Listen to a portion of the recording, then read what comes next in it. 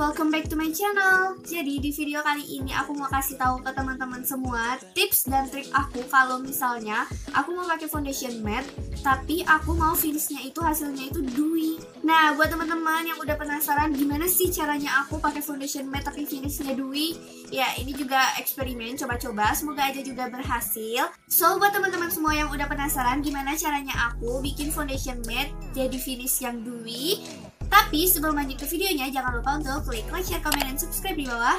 Dan jangan lupa juga untuk follow Instagram aku di @nyayuega atau kalian bisa klik linknya yang ada di description box. Oke, tanpa lama-lama lagi langsung aja kita mulai ke videonya. Nah, jadi ini aku udah pakai alis, aku juga udah pakai Olay Natural White sebagai base makeupnya. Jadi aku bakalan pakai Maybelline foundation yang matte and poreless yang shade-nya itu nomor 125 nude beige. Jadi ini itu foundation matte terbagus yang aku punya menurut aku untuk saat ini ya. Dan aku bakalan cobain foundation ini kalau dipakai di muka aku bakalan bikin hasilnya itu jadi dewy. Apalagi buat teman-teman yang misalnya cuma ada satu foundation aja di rumah dan foundationnya itu matte, sedangkan kalian pengen make up yang kayak basah dewy gitu kan. Jadi kunci yang pertama kalian harus punya Tada! Ini itu liquid highlighter. Nah, dan yang aku punya itu dari Vocalur yang shade-nya itu nomor nomor 01 Sunbeam. Nah, gimana caranya aku buat foundation matte jadi dewy? Jadi caranya itu langsung aja kita praktekin ya. Nah, pertama aku bakalan pakai ini kayak pencampur adonan si foundationnya. So, aku bakalan ambil kayak sekitar satu pump dulu ini juga udah mau habis gitu karena keseringan aku pakai. Nah segini cukup. Lihat enggak? Tuh segitu aja. Lanjut. Kita campurin si liquid highlighternya dengan si foundationnya. Kenapa dicampur? Makanya. Kenapa? Nah kenapa dicampur Nah, kenapa aku saranin banget untuk dicampur? Karena kalau misalnya udah dicampur dan jadi merata gitu adonannya ini, bakalan ngebuat muka itu jadi kayak dewy gitu dibandingkan kalian tau lah ya kalau misalnya kalian sering banget pencinta make up tutorial ada tuh ya yang buat tutorial kayak pakai liquid highlighter dulu sebagai base nya setelah itu baru foundation. Itu juga sebenarnya bisa sih tapi karena itu udah terlalu biasa banget jadi aku mau coba kayak varian baru dengan mencampur saja kedua bahan ini dibanding kayak pakai satu baru pakai satu. Jadi ya langsung aja kita campur. Aku bakalan campur. Gak tau ya kisarannya berapa kira-kira aja tuh segitu Lanjut, aku bakalan campur ini dua langsung pakai spatulanya. Semoga aja berhasil ya eksperimen kali ini. Jadi aku kayaknya mau tambah lagi ya karena ini foundationnya benar-benar matte. Jadi kita butuh liquid highlighter yang ya agak banyakan supaya hasilnya itu jadi dewy. Nggak tenggelam karena foundationnya yang benar-benar bagus matte gitu kan. Nah, ini udah kecampur. Semuanya sudah merata. Nah lanjut langsung aja kita totol-totolin ke wajah terus kita blend dan kita lihat hasilnya. Semoga aja berhasil ya biar aku nggak kena hujat.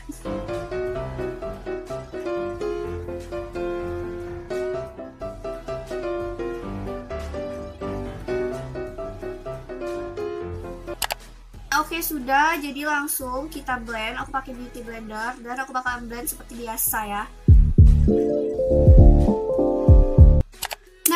Ini dia hasilnya kalian bisa lihat. Ini benar-benar berhasil karena hasilnya itu benar-benar dewy tapi ada satu kekurangannya yaitu susah banget untuk di blend kalian harus menjadi orang yang super super penyabar untuk ngeblend ini karena ya agak susah. Terus juga kalian harus mengurangi pemakaian si liquid highlighternya karena kalau misalnya terlalu banyak mungkin itu yang menyebabkan si foundationnya itu jadi lebih susah di blend Terus juga karena hasilnya itu dewy, jadi dia mengurangi coverage yang ada dari foundation aslinya ini karena ya seperti kalian tahu foundation ini benar-benar full coverage. Nah kalau misalnya dicampur dengan produk-produk lain, jadinya kayak kurang menutupi gitu. Karena di sini ini ada bekas jerawat aku aslinya itu nggak ketutup, so aku bakalan cobain tutup pakai concealer dulu. Di sini aku pakai concealer the same yang shade nomor 2 aku mau coba tutupin bekas-bekas jerawat dan bagian yang perlu di highlight gitu.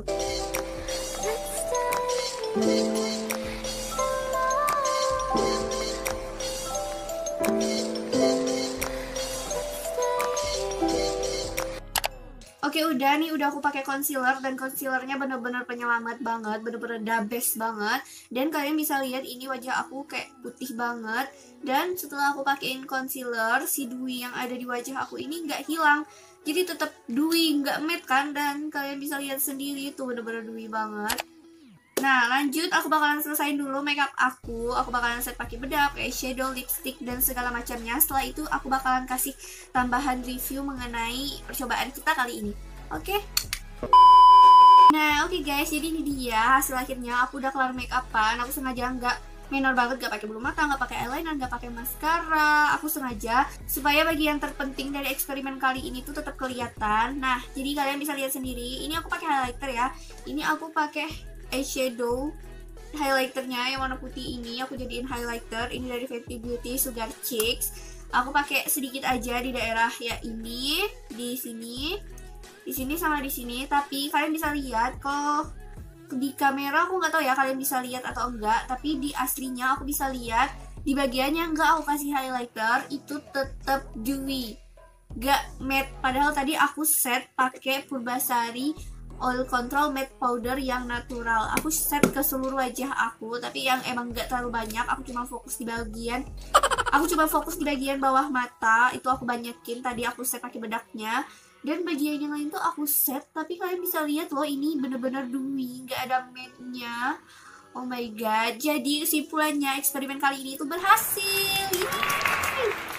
Nah, kekurangannya yaitu tadi yang seperti aku bilang dari awal susah untuk di blend, terus jadi coveragenya itu jadi berkurang. Tapi kalau misalnya kalian punya concealer kalian emang harus pakaiin concealer untuk di daerah bagian bawah mata ya untuk di highlight karena benar-benar perlu bantuan untuk concealer banget. Bruh perlu bantuan concealer untuk menutupi bekas-bekas jerawat yang belum ketutupan.